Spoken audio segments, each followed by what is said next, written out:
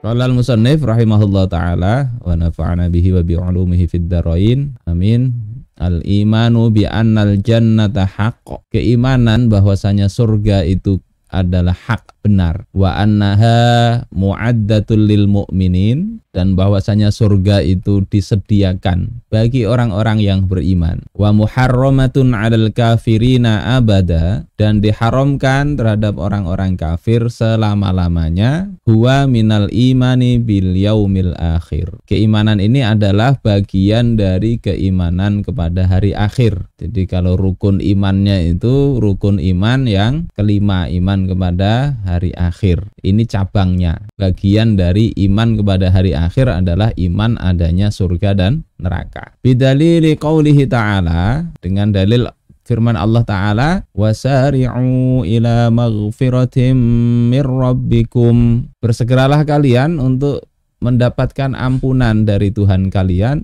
Wa jannatin arduhas samawati wal ard uiddat lil muttaqin dan juga disebut di sini surga yang luasnya adalah seluas langit dan bumi yang disediakan bagi orang-orang yang bertakwa. Ini apa artinya bahwasanya memang surga ini ada. Jadi tidak cukup percaya Allah itu ada. Tidak cukup percaya Allah itu esa, tapi harus juga percaya akan ada balasan surga maupun neraka. Juga firman Allah Ta'ala Wanada ashabun nari ashabal jannati an afidhu alayna minal ma' Aw mimma razaqakumullah. Qalu inna Allah harramahuma alal kafirin. Penduduk neraka itu menyeru penduduk surga. Menyerunya apa? Minta air. Apalagi sekarang kemarau juga minta minum, minum yang Allah rezekikan kepada kalian. Maka orang-orang yang ada di surga mengatakan, sesungguhnya Allah mengharamkan ya atas orang-orang kafir, mengharamkannya atas orang kafir. Baik itu air maupun makanan yang lain atau Allah yang Allah rezekikan. Jadi sekedar minum saja di neraka tidak akan dapat. Ya, nanti minumannya ada tapi khusus ini untuk menyiksa mereka. Wa man angkarol jannata awinnar, siapa saja yang mengingkari adanya surga atau neraka awil ba'sa ataupun hari berbangkit awil hisaba ataupun adanya hisab fahuwa kafir. Maka dia kafir. Ini sudah ndak perlu ragu-ragu. Kalau orang mengatakan surga ndak ada itu sudah keluar dari Islam dia. Dan sekarang ini banyak begitu. Di sosmed itu ya bertebaran ya orang-orang yang ateis. Itu capek-capek beramal. Iya kalau betul surga ada. Kalau ndak kan kecil Kata mereka begitu. Lah Anda kalau tidak percaya kalau ternyata ada apa tidak bahaya juga itu. Leworodin nususil qat'iyah ya kenapa dikatakan kafir karena adanya nas-nas yang qat'i subutan wa dalalatan fi dzalik baik secara subut yakni sumbernya qat'i dari Al-Qur'an maupun sunnah mutawatirah yang kedua penunjukan maknanya juga qat'i pasti, tidak ada penafsiran lain. Kemudian siapa yang diberi janji untuk masuk surga? Ya, urusan masuk surga itu memang urusan rahmat Allah Ta'ala, betul. Tapi bentuk rahmat Allah itu adalah Allah itu akan memberikan balasan yang baik kepada orang-orang yang beramal soleh. Bentuk kasih sayang Allah itu adalah juga termasuk ketika kita dimudahkan beramal soleh. Dan Allah tidak menyelisihi janji. Nah, ada orang-orang yang diberikan balasan surganya Allah Ta'ala. Banyak sekali di sini. Yang pertama adalah an-nabiyuna wasiddiquna wasyuhada wassolihun. Para nabi, para siddiqin, ya, para wali Allah, kemudian syuhada dan juga orang-orang soleh. Ini di dalam surah An-Nisa 69. Wa may wa rasulahu an'ama Allahu minan nabiyyin minan nabiyyin was-siddiqin.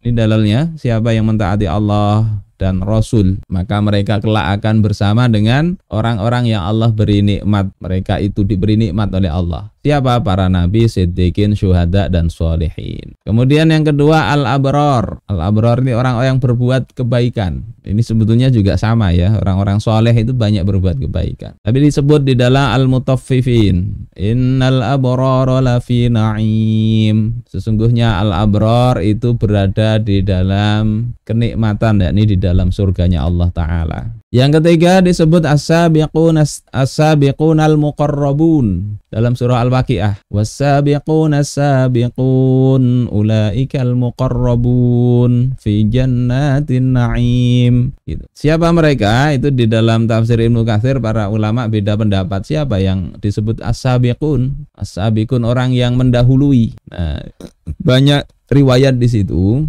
Kemudian Imam Ibnu Katsir membetulkan semuanya yakni semuanya betul. Beliau berkesimpulan humul mubadiruna ila fi'lil khairat. Asabiqun asabiqun itu adalah mereka yang bersegera kepada melakukan kebaikan. Tidak nunggu-nunggu, segera. Ada kewajiban segera, ada perintah apa jihad segera, ada sholat segera dan sebagainya. Jadi tidak berlambat-lambat. Kama umiru sebagaimana diperintahkan, termasuk bersegera untuk bertobat ketika mereka melakukan kesalahan. Ini sabiqun as al-muqarrabun. Nah, yang berikutnya banyak ya. Saya tidak bahas satu persatu. Dalil-dalilnya ada di kitabnya. Ada ashabul yamin di dalam surah Al-Waqiah juga wa ashabul yamin ma ashabul yamin fi sidrim makhdud wa talhim mandud dan seterusnya ashabul yamin siapa mereka ini juga para ulama beda pendapat ada yang mengatakan ashabul yamin ini orang-orang yang nerima catatan nanti di tangan kanan atau ada pandangan yang lain. Kemudian al-muhsinun, orang-orang yang berbuat ihsan, kebaikan. As-sabirun, orang-orang yang sobar. Kemudian man khafa maqama rabbih disebut dalam Al-Qur'an. Waliman khafa maqama rabbih jannatan atau di dalam surah apa itu? An-Nazi'at wa amma man khafa maqama rabbih wa nahan nafsa 'anil hawa fa innal jannata hiyal ma'wa.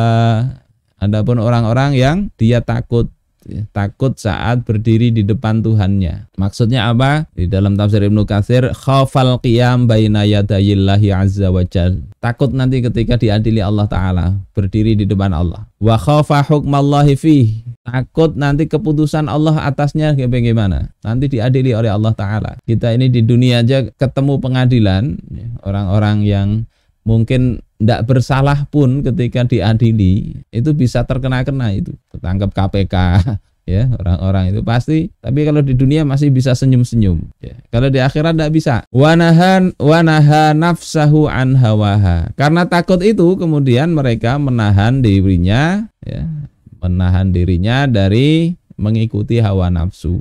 Waraddaha ila ta'ati maulaha kemudian mengembalikan nafsu itu untuk mentaati pemimpinnya yakni Allah taala. Jadi rasa khawatir, rasa takut sudah kita bahas di bab sebelumnya. Ini juga orang-orang yang Allah janjikan akan mendapatkan surganya kelak. Asal betul, ya, asal betul. Kemudian al-muttaqun, orang-orang yang bertakwa. Ini juga bahasanya kalau dibahas satu-satu panjang apa sih takwa itu? Intinya perintah Allah lakukan, larangan Allah tinggalkan. Sesuai dengan perintah itu wajib atau sunnah, ya, larangan itu makruh atau haram.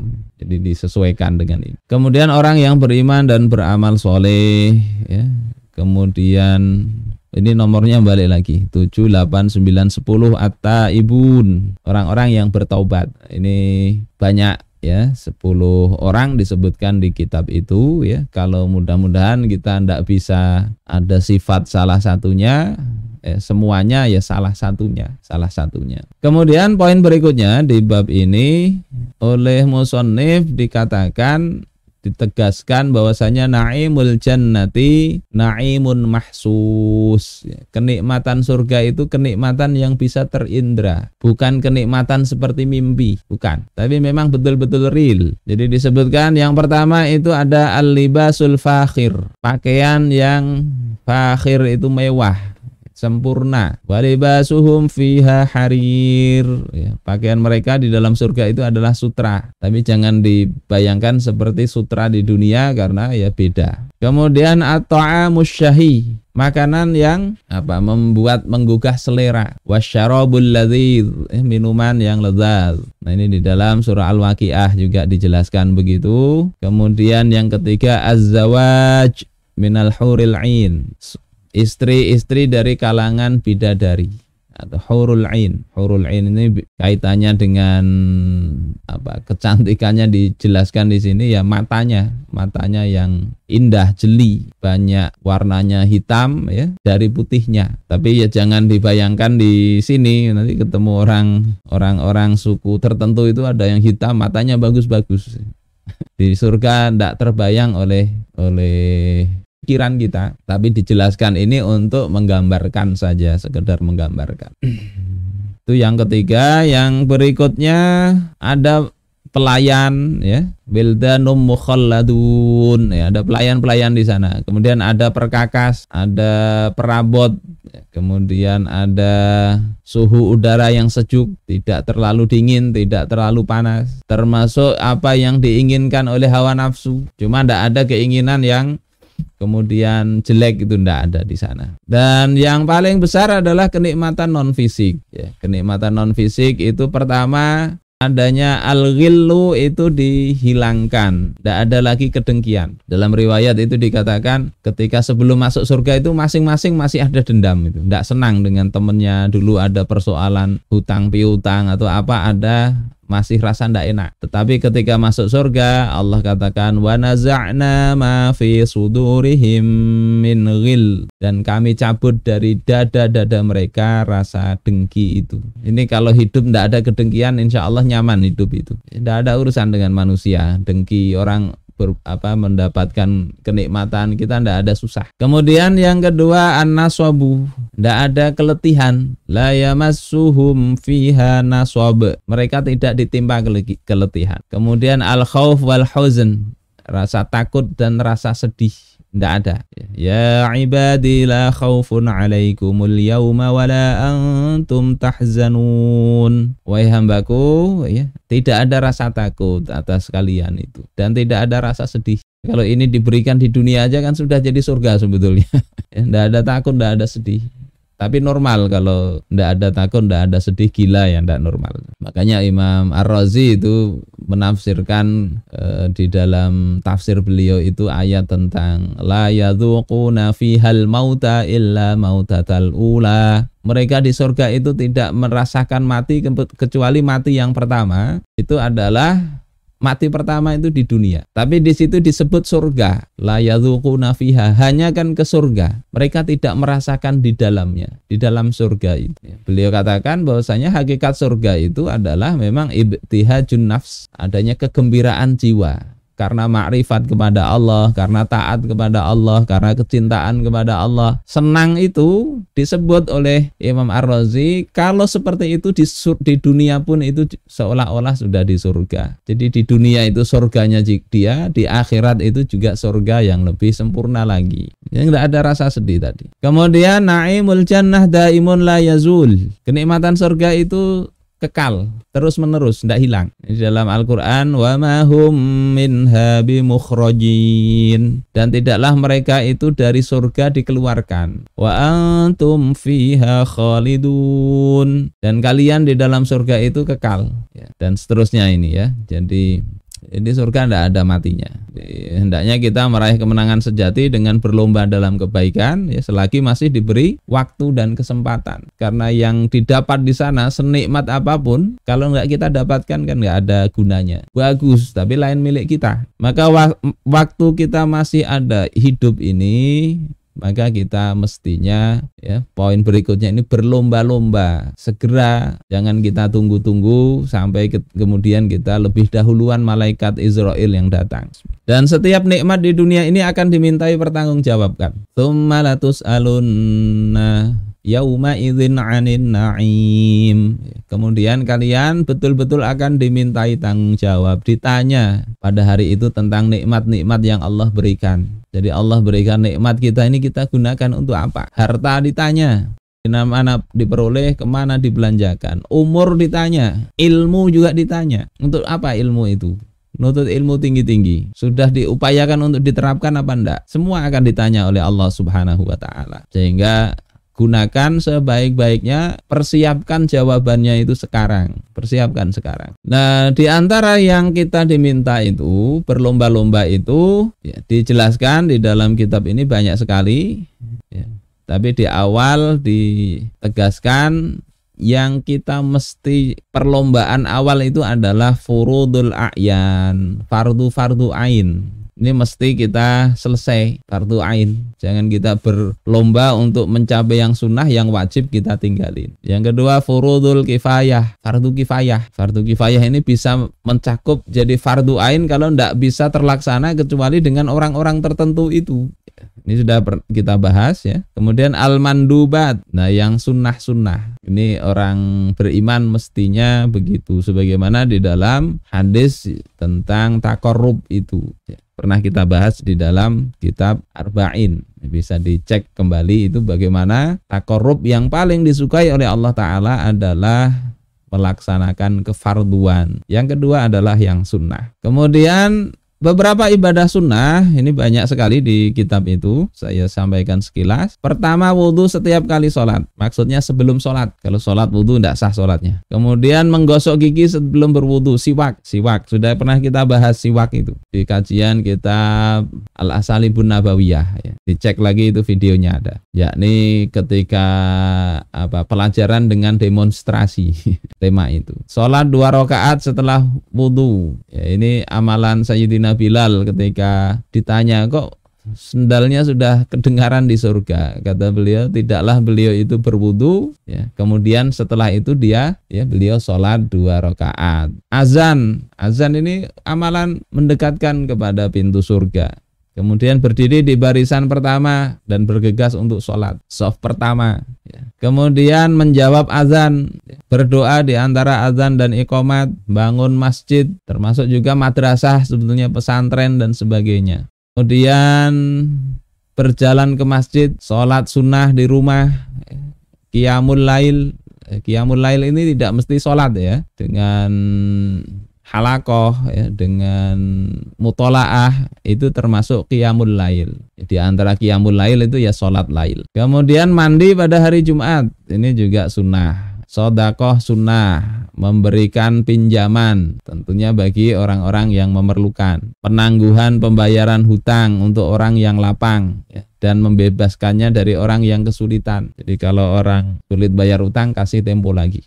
Ini juga disinggung banyak hadis ya. Kemudian memberi makanan, kemudian memberi minum kepada setiap yang bernyawa. Ya, bahkan ini binatang sekalipun, ini termasuk sodakoh. Beri makan kepada binatang juga sama. Sehingga orang motivasi bertani itu salah satunya ya sodakoh. Karena apa dari hasil itu yang dimakan oleh makhluk Allah Ta'ala itu terhitung sodakoh bagi petani tersebut. Berapa banyak mungkin yang dimakan burung padinya dia sodakoh ke situ. Kemudian saum sunnah ya, bagi yang sanggup. Kemudian kiam Ramadan terutama di malam Qadar dan 10 malam terakhir, makan sahur, menyegerakan berbuka, kemudian memberi makan orang puasa untuk berbuka ya. Panjang itu pembahasannya ya, ada 30-an di muat situ. Saya sampaikan satu-satu. Umroh, umroh ini, umroh ini haji kecil.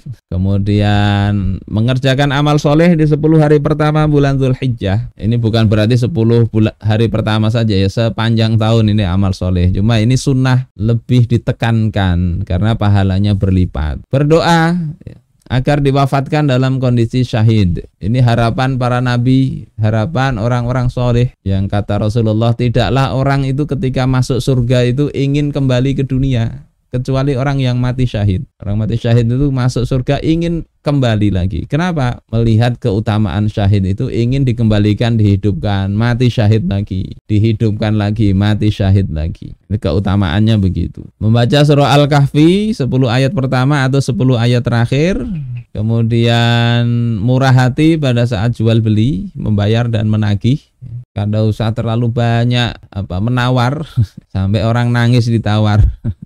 kemudian baca solawat, zikir dan sebagainya yang kemarin kita bahas, menutupi kesalahan orang yang taat tentunya dengan catatan tidak membahayakan masyarakat umum. Kemudian memaafkan, menahan amarah, sabar menanggung beban penderitaan dalam hidup. Kemudian mendamaikan permusuhan antar manusia. Ya. Ziarah kubur. Ini contoh-contoh yang ada di kitab itu lengkap dengan pembahasan dalil-dalilnya. Nah, yang ini tambahan ya, eh, bukan tambahan ini tambahan dari yang 30 tadi ingin saya tekankan di sini ya kalau yang 30 tadi kan kita bisa milih karena sunnah, bisa kerjakan semuanya bagus lagi. Tapi yang penting di sini saya sampaikan al mudawamatu alal amal. Dawam, continue, terus-menerus dalam amal. Ini termasuk salah satu yang disenangi. Apa maksudnya adalah al-a'mal al-mandubah. Yang dimaksud dawam ini adalah amal wajib, eh amal wajib, amal sunnah. Amal sunnah itu perlu didawamkan. Kalau amal wajib itu di luar pembahasan ini, ya amal mafrudatu fahuwa mulzamum biha wala tarituhuna. Yang wajib tidak dibahas di sini karena mesti itu tidak ada kata untuk bolong-bolong yang wajib. Tapi yang sunnah ini bisa diambil salah satunya didawamkan. Tentunya tidak bisa semuanya tadi. Kecuali ada sahabat Sayyidina Abu Bakar As-Siddiq itu pagi-pagi ditanya oleh Rasulullah semua amalan sunnah dikerjakan beliau. Ngasih makan Abu Bakar, apa-apa Abu Bakar semua. Faman ikhtara sunnatan min hadhihi sunan fayudawim 'alaiha wa in qallat. Maka barang siapa yang memilih sunnah di antara sunnah-sunnah yang tadi disebutkan 1 sampai 30 tadi, termasuk yang enggak disebutkan ya. Yang enggak disebutkan apa? Menikah misalnya. ya, kalau menikah lagi hukumnya mubah. Maka kalau milih satu sunnah hendaklah didawamkan meskipun sedikit, tidak banyak-banyak amalan itu. Imam Al Bukhari dan Muslim mengeluarkan hadis dari Aisyah bahwasanya Nabi Shallallahu Alaihi Wasallam beliau masuk ke tempatnya Aisyah saat itu ada seorang wanita. Beliau bertanya, "Man hadhihi? Siapa wanita ini?" Maka Sayyidatuna Aisyah menjawab, "Fulanah tazkuru min salatiha." Ini adalah uh, si fulanah yang dia zikir ya ingat zikir dari sholatnya. Maka kata Rasulullah mah alaikum bima tutiqun. Hendaklah kalian melakukan amalan itu sesuai dengan apa yang kalian mampu. Fawallahi la yamallullahu hatta tamallu. Demi Allah Allah tidak bikin apa itu uh, bosan. Hingga kalian bosan. Wa kana ahabbad din ilaihi ma wa ma alaihi sahibuh. Dan sesungguhnya amalan yang sangat disukai, yang dicintai yang lebih dicintai dalam agama ini itu adalah mada wa alaihi sahibuh apa yang dilakukan oleh orang yang beramal itu dengan dawam, dengan terus-menerus. Ya, infak ya, rutin misalnya, meskipun mungkin tidak banyak, apalagi banyak ya. Tapi coba dijaga kerutinan itu. Ini dalam hadis muttafaqun alaih. Ya, kenapa begitu juga? Karena amal yang dawam, ya, yang rutin itu bisa dicatat walaupun sudah wafat rutin misalnya ngaji rutin. Nanti setelah ini pengajian minggu depan mau ngaji lagi. Setelah itu pengajian selesai minggu depan mau ngaji lagi. Maka kalaupun ada uzur dia berhenti wah ini tidak bisa hadir karena ada uzur tetap dicatat baginya amal yang biasa dia lakukan itu. Eh, luar biasa kan kalau dawam itu begitu. Karena dia sudah memang me, apa namanya menancapkan dalam dirinya keinginan untuk terus menerus sehingga ketika ada uzur dia tetap dihitung terus menerus. Ini bukan berarti menjadikan yang sunnah jadi wajib bukan. Tapi jangan salah posisi ini penting. Ini tambahan memposisikan amalan sunnah. Ini saya kutipkan di dalam Lataiful Ma'arif halaman 125. Wa afdalus siyam alla yud'iful badan hatta yu'jiza amma huwa afdalu min. Ini seperti misalnya orang mau puasa sunnah, maka puasa sunnah yang afdal itu adalah puasa yang tidak membuat badan lemah hingga dia tidak mampu melakukan yang lebih afdal dari puasa itu. Minal qiyami bihuquqillahi ta'ala au huquqi ibadihi lazimah yakni dia berpuasa tapi dia tidak lemah. Tidak lemah apa dalam hal menunaikan hak-hak Allah Taala atau hak-hak hamba Allah yang wajib dia tunaikan. Kalau dia lemah dari sesuatu, maka yang lebih afdol itu adalah dia meninggalkan puasa itu. Misalnya apa? Ya, misalnya dia puasa itu membuat dia lemah dari sholat atau dari zikir atau dari menuntut ilmu. Maka dia lebih baik ya sholat, puasa atau apa menuntut ilmu dan sebagainya. Sebagaimana dikatakan dalam larangan untuk puasa hari Jum'ah dan hari Arafah di Arafah. Kenapa hari Jum'ah itu tidak boleh puasa walaupun ini bukan haram? Ya hari Jum'ah ada di situ afdolnya sholat Jum'ah dan sebagainya. Hari Arafah bagi jamaah haji ada ibadah yang lebih afdol. Sehingga kalau lemah dari zikir, dari doa dalam dua hari ini, hari Jum'ah dan Arafah, maka ya lebih baik tidak usah puasa. Sebagaimana perkataan Sayyidina Abdullah bin Mas'ud, beliau itu puasanya sedikit. Pas cocok benar dengan kita ya. Bukan begitu, ini wah ada teman tidak begitu ya.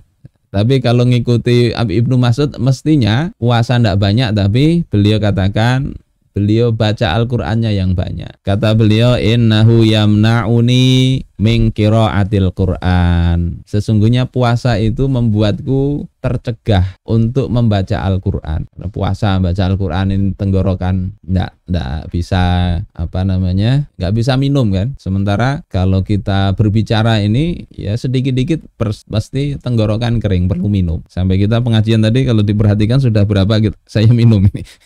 Hampir habis satu gelas ini. Masya Allah.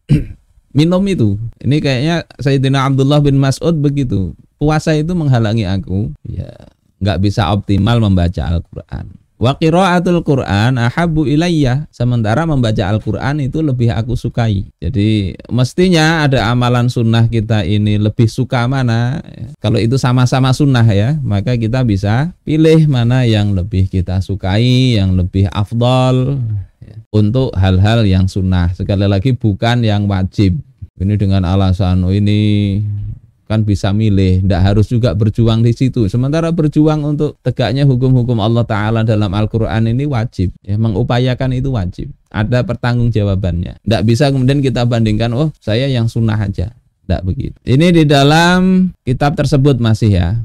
Dari Sofyan Astauri dan sebagainya ya dari kalangan a'immah beliau katakan kadzalika ta'allumul il ta'allumu ta'allumul ilman nafi wa ta'limuhu afdalu minas syam. Begitu juga belajar ilmu yang bermanfaat dan mempelajarinya, mengajarkannya itu lebih afdal lebih afdol daripada puasa. Nah, kalau lebih bagusnya puasa sambil nuntut ilmu. Asal tidak banyak berbicara mungkin tahan. Ya. Kemudian waqatna solaima al-arba'ah ala anna talabal ilm afdalu min sholatin nafilah. Imam yang empat juga menyatakan menuntut ilmu itu lebih afdol daripada sholat sunnah. Jadi jangan dengan alasan banyak sholat sunnah, puasa, akhirnya yang jadwal menuntut ilmu ditinggalkan. Wassolatu afdal minas siyam. Salat itu lebih utama daripada puasa al mutatawu. Puasa sunnah, puasa sunnah al mutatawu bihi. Fayakunul ilmu afdalu minas siyam bitorikil ula. Maka ilmu itu lebih afdal dari puasa dengan jalan yang pertama tadi. Fa innal ilma misbahun. Sesungguhnya ilmu itu adalah eh, laksana lentera, laksana pelita, lampu yas yustadau bihi fi zulmatil jahli yang akan memberi penerangan di dalam gelapnya gelapnya kejahilan wal hawa dan hawa nafsu. Faman sara fi tariqin fi tariqin ala ghairi misbah lam ya'man ayyaqa fi bi'rin. Siapa yang dia berjalan, artinya banyak beramal, dia berjalan tanpa lampu, maka dia tidak aman untuk kecebur ke dalam sumur ya. Sehingga ini penting tentunya bagi orang yang yang belajar ya. Kalau ilmu yang dipelajari ini sudah bolak-balik ya, mestinya dia tingkatkan pengetahuan apa yang belum belum dia pelajari ya, maka mestinya di dia kaji itu.